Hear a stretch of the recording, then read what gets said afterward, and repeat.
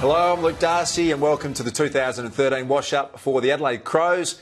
Prelim finalists last year, missed the top eight this year. Damo, did they overachieve last season, or are they better than what they produced in 2013? Yeah, Darcy, to me, you don't overachieve uh, in a particular season when you lose a preliminary final by a kick. But to answer that second part of that question, they were massive underperformers in 2013. Massive. A couple of highlights for me, Damo, came uh, in the space of big come from behind wins in round nine versus uh, North Melbourne. Yep. Five goals down in the last quarter. Uh, cost North Melbourne a final spot, that particular play there, if you look at it from that point of view. But it was a great effort from the Adelaide Crows and some glimpses of uh, the talent that we know they've got. Some excitement there, wasn't it, in the box for Brenton Sanderson? I suppose what that win does, and this one you're also going to highlight the Geelong win, uh, two point win.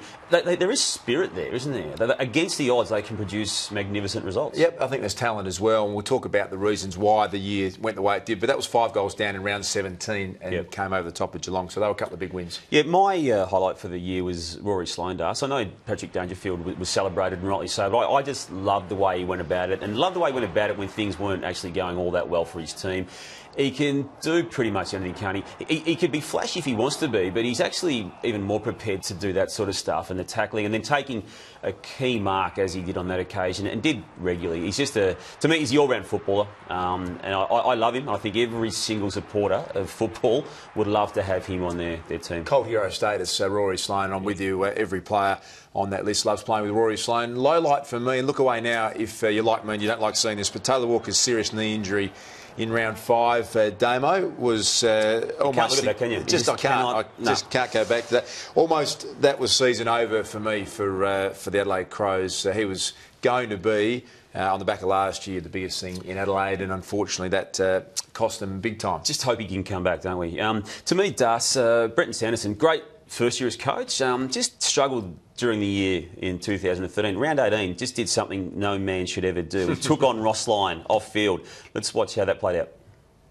Yeah, so I was just I was just telling Sloaney, you know, we won every major indicator, but the most important one, I guess, which is uh, winning the game of footy. You know, we won contested ball, we won inside 50s, we won tackles, we won clearances.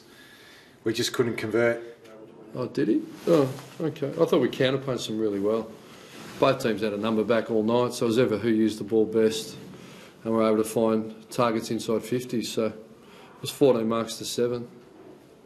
Um, we had more kicks in them, more marks inside 50, um, more shots on goal. So I think it's a pretty simple equation.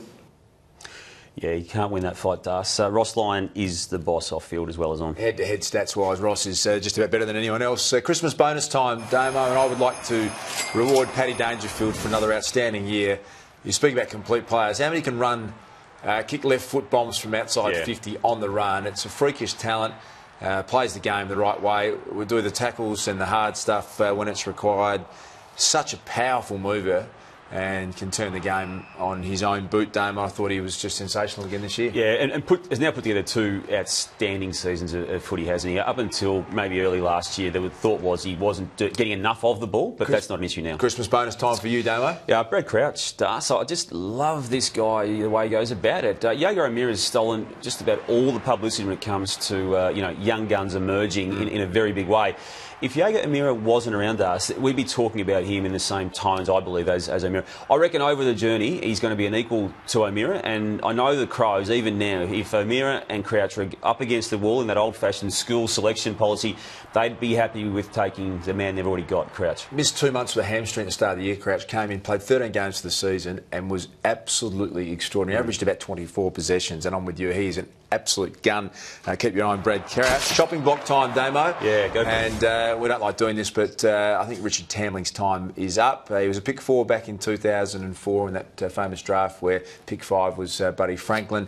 Hasn't quite worked out for Richard Tamling. He's probably just missed the boat, and he won't be there next year. Yeah, to me, Das, it's uh, Shaun McKernan. Um, when the club loses Kurt Tippett off season last year and then loses Walker in season this year, it was crying out for a big man to stand up and, and assume some responsibility that hadn't come his way to that point. Well, he managed only nine games and, and was quite ineffectual. Um, in those nine games, and I think he needs to have a look at uh, moving on to see if there is another club that, that will allow him to ply his trade because it hasn't worked for him at the Crows. A bit early for me on a young big man. Takes Really? a bit longer. I think there's uh, enough signs there. I think he's only about 22. Give him a couple more years, Damon. I think he'll turn into a good player. Where can they improve next year? I think the ruck stocks is an issue for them. Yep. Uh, big source Jacobs, uh, Sam Jacobs, didn't quite have the year that he had last year. He needs some support. Angus Graham, they got across from Richmond. That hasn't worked out at all for them. Uh, the last couple of years, Maric has gone to Richmond, who was uh, probably in the hindsight a player they should have kept. Jonathon Griffin to Fremantle is probably a better option. Kurt Tippett's gone as well, so they need some help in the ruck department. To me, Das, they need some uh, help in the in the midfield. Um, we know Dangerfield and Sloane are there. We just mentioned Crouch, but Scotty Thompson dropped away. He's been a very good player at two footy clubs now for a long time, but I think his best is now clearly behind him. To me, they need to replace his input at that footy club with someone from outside. And we know it's going to be hard because they can't uh, partake in the first two rounds of this particular draft. So they're going to have to get, bring people in from outside their system. So, Damo, let's look forward to 2014. Where do the Crows finish? Up, down, or stay the same? They're going to go up, Das, but they have to, and it's wrong how low they were finishing this year. I'm not sure they're prelim finals as they were in 2012, but they'll be back in the finals in 214. Yeah, I think on the back of Tex Walker alone, I know it's always an unknown about a knee injury, but even you know if he gets back to 70% next year, he'll be better the year after.